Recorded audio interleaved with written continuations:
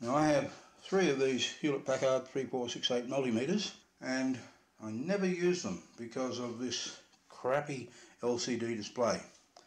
Now it's okay when you're looking straight on and in good light like now you can read it but a lot of the time it's just unusable.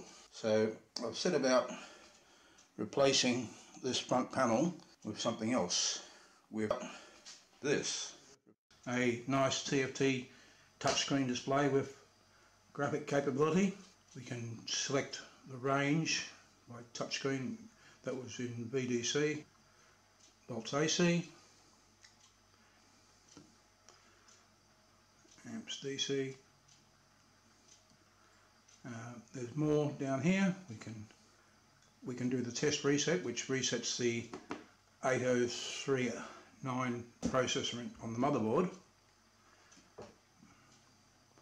Now this is just a prototype, it's still in development, so there's lots of little bugs and missing functionality. But, you know, it did a reset and went into volts DC mode, or we can go to full reset, which resets the uh, processor on this control board. This still isn't pinning down properly. And also resets the motherboard processor. And we can go to another menu, we can turn auto zero on or off.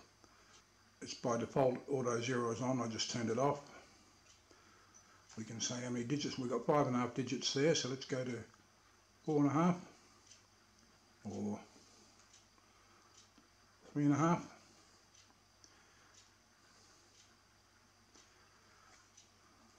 Go back to five and a half digits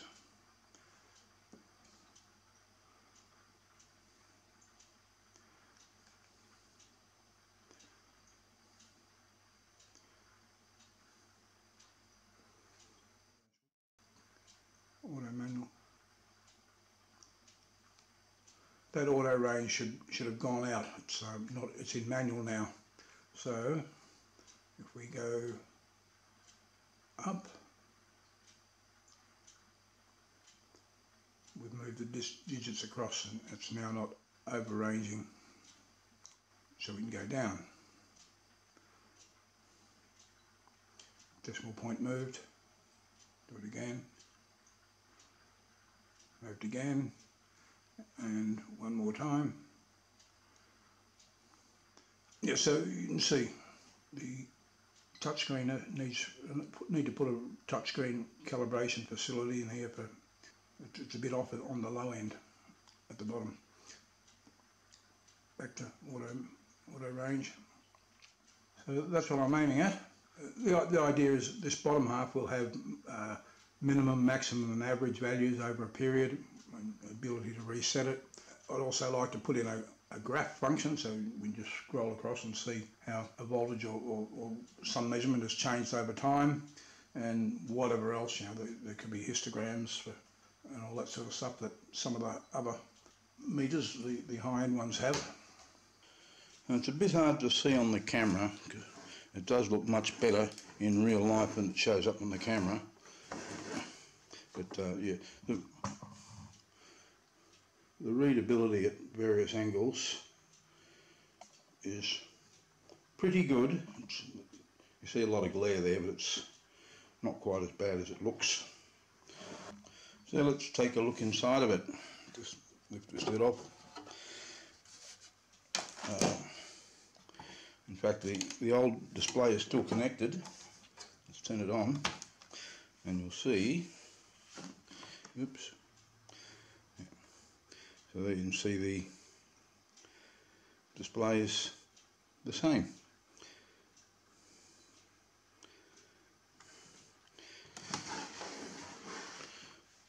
this doesn't fit properly. Uh, this is too low, it's sitting on some chips down there which is not good.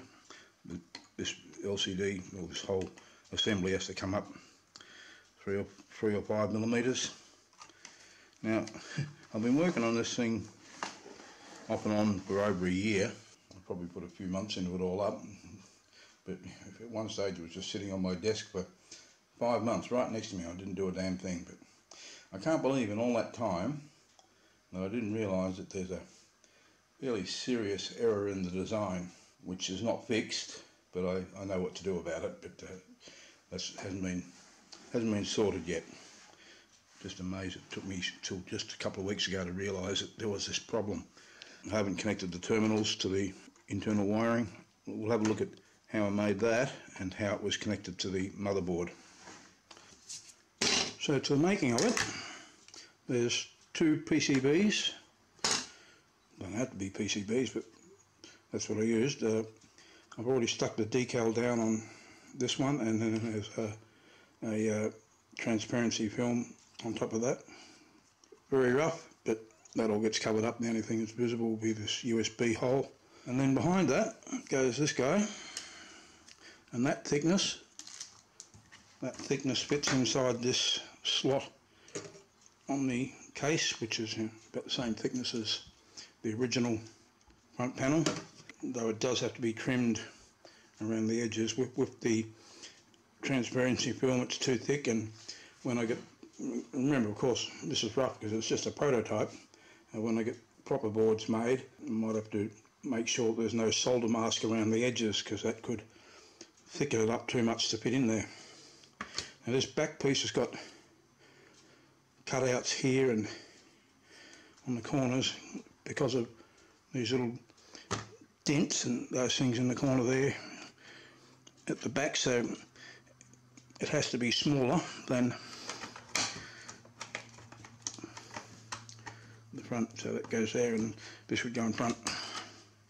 And into that plugs this guy LCD and a sort of an Arduino. Uh, it just looks through the window and you can operate the touch screen through that. Uh, this is so these are just uh, three and a half inch LCDs uh, 320 by 480 pixels.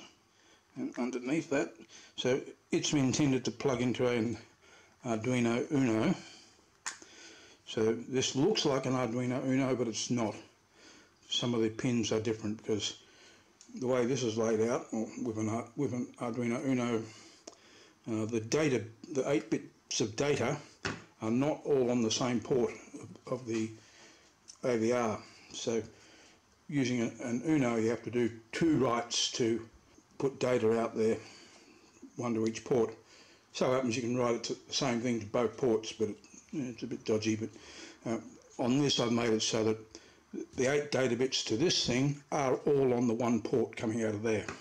Now this is an ATmega 1284 which is pretty big AVR uh, it's got 128k of flash and I think it's 16k of RAM. I don't know whether I'm probably being pushed for space on the final design so I'll probably end up having to go to using one of the um, SMD chips which are much smaller. Uh, this regulator which was running off the 7 volts unregulated inside this thing gets pretty hot, needs this heatsink. I haven't checked the currents and uh, voltages to see how much it's dissipating, but there's a possibility that would have to become a switcher, otherwise you get too hot once it's inside the case. This mess here is uh, simulated pressing of the switches. It's just two analog multiplexers and I'm only using half of them because you can't independently select each half. So I'm using two of them and only using half of each one. Uh, I thought I could do it just using the ports on this guy, but as it turns out, it just didn't work. And the signals are crazy what's coming out of there. Nothing like what a normal scanning matrix looks like, and which is what the manual says comes out of it, but not, not that I saw, and this is the only way I could get it going. Uh, then to connect to this original unit. There's the original display still. Though I broke it unplugging it. They're very delicate little pins on those things and I broke some. So I ended up making this business to replace it and it's a bit stronger anyway. Now under here a bit of a bodge. um, but yeah, I didn't I didn't try and join it to any of the existing, say for the keypad here, I didn't try and join it to those or to this thing. I wanted to be completely independent so, so I could always revert. And so it's just dabbing onto a few places for uh, to pick up signals. So four there, couple there, four there, four there, and two for the power back here. Again, this is only a prototype, so I'm learning the right way to do it and the wrong way. This is the wrong way. Of course, all these wires should be coming out on this side instead of like that, and therefore this thing should have, these connectors should be over this side as well. And so instead of these sort of connectors, which have to be hand done, and the thicker wire that I've used there, which is overkill, I'll use these pre-made JST connectors. These are 200 millimeters long, but for some they'll need to be 300 millimeters, which you can get. And then the these connectors just live on the board, like that. That'll be fairly easy, and they'll they're a bit tight, sticking down around here, so the thinner wires will be a help there. Now the, the power switch which was operated via this, which operates that switch back there, this push rod, and I'm getting rid of that for a few reasons, and just using a mini toggle switch, which will go here. This switch only disconnected power, uh, disconnected the secondary from the power supply. The uh, transformer was always energised on its primary whenever there was something power plugged into there. And because of that serious error that I mentioned before, I'm going to use this as the power switch and it will be controlling the mains into that transformer. So I'll have to put some jumpers into this business down here. And another reason for getting rid of it is the push rod sits right over this ROM and I want to uh, remove that, read it out, put a socket in because these things are are prone to losing their contents. Now there's two sorts, this is 28 pin one and it, it may be a direct replacement by a one of the 27 series, it's uh, what is it, uh, I think 4K, so what's that, a 2764, 2732, not sure off the top of my head. Um, but yeah, it may have a different pin out and there may have to be some funny buggers to do selecting going on, so it might need a little adapter board and there's just not enough room even for a socket really for this one. And one of the three that I've got has the 24 pin version of the ROM which I'm pretty sure will need some sort of a funny adapter and possibly some selection logic on it. And there'll certainly be no room for it for the push rod when I, on that one. So I'm just getting rid of these things. The terminals we could use safety terminals like these. But I like the old school binding posts so I'm going to use those guys so they'll, they'll be sticking out here. So I'll start putting this back together and show you uh, how it fits in. And there it is roughly assembled. Yeah so this this connection here is just for the to power this mess down here now no doubt I'll have to be going in here opening this up again. So I haven't done anything about the USB connector in fact I haven't put the hole in the back back plate yet but so the USB was or does run out of there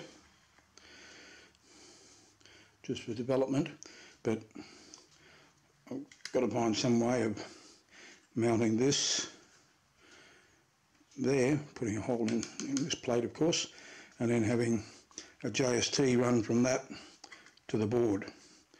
So getting rid of that connector.